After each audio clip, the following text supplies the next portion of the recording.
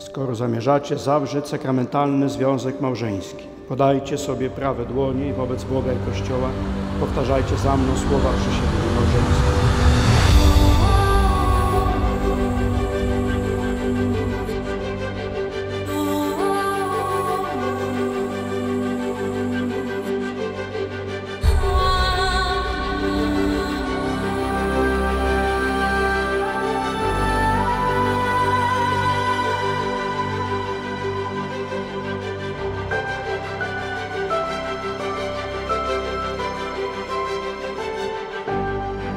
Ja, Adrian,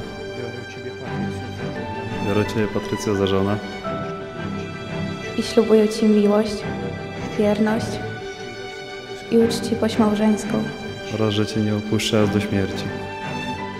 Tak mi dopomóż.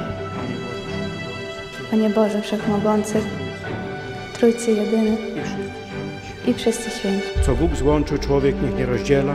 Małżeństwo przez Was zawarte, ja powagą Kościoła katolickiego potwierdzam i błogosławię w imię Ojca i Syna i Ducha